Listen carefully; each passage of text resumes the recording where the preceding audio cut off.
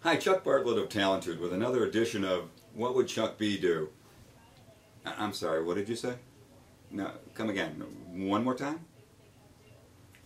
Uh, I didn't hear what you said. Of course, I can't hear what you said because you're sitting there with a conversation that you're having with yourself. Let me ask you a question. Who will you have the most important conversation with today? Okay, I'll answer that since you're not here. It's with you. And we call it self talk.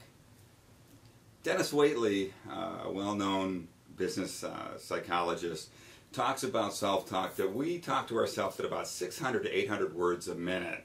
From the minute we get up, it's an awful lot of conversation that we're having.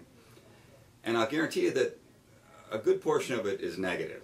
Unfortunately, that uh, through growing up and with self-limiting records and marketing that, that hits us uh, throughout the day tends to make it negative, and that's unfortunate because we do have an awful lot of value.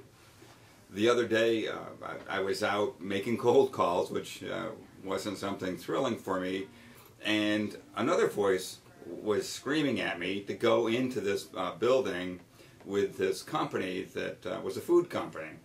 And I really wasn't quite sure what was going on. But my self-talk was telling me, no, you're going to go in there, it's going to be rejection, they're going to tell you no, and you're just not going to feel good about yourself, don't go in. Well, this other voice was yelling at me, get in there and, and do it. So I did. And it was really uncomfortable. And the whole situation didn't seem like it was going to work out.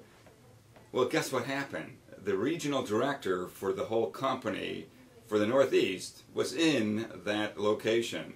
And guess what? They were talking to somebody that did was doing exactly what I do.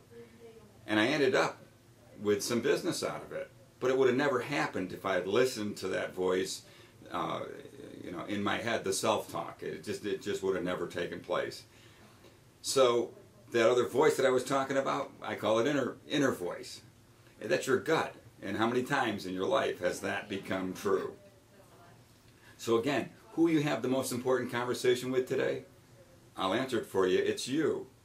Be gentle with it, understand it, help to get around the negatives in it, listen to your inner voice, and you're guaranteed success. I'm Chuck Bartlett of Talentude with another edition of What Would Chuck B Do? Hey, you're the best.